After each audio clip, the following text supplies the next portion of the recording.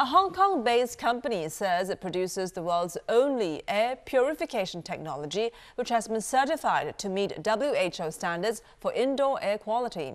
Beijing University of Technology has now released findings that the air purifiers are over 99% effective in eradicating airborne viruses such as swine flu and bird flu. Our Hong Kong correspondent Leslie Tang has more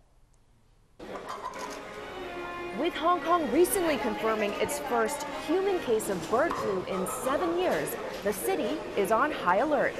One of the most densely populated cities in the world, it's susceptible to the spread of infectious viruses. But a homegrown company believes it can help with the problem. OxyVital says it produces the world's only air purification technology, which has been certified to meet WHO standards for indoor air quality. And a study by Beijing University of Technology found for every cycle of air that passes through the OxyVital split unit, 99.93% of airborne viruses, including H5N1 and H1N1, are eradicated per cycle. The unit works by targeting the virus's hemagglutinins, or H's and N's.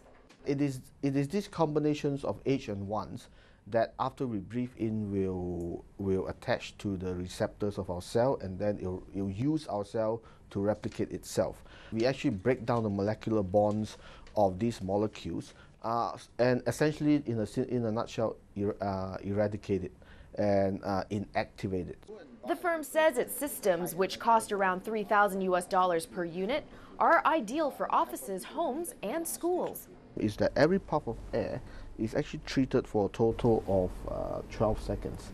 And this is where the physical forces act on the molecular level to uh, strip away the, the pollutants and uh, break down the pollutants and the virus into its natural state. The city is gearing up for the upcoming flu season, and some local fitness centers are tapping into this technology to help keep the spread of viruses at bay. We know that members, if they spend some time out, time out because of because of the flu, it means their habits of working out is going to reduce, their time in the office is going to reduce, and it's much harder to get back into their workout regime when they get back. So, if we can help them to, to reduce that chance of becoming sick, it means they're going to feel much more comfortable here. After making steps to help clean up the air in health and fitness venues, OxyVital also hopes to expand its product in the region.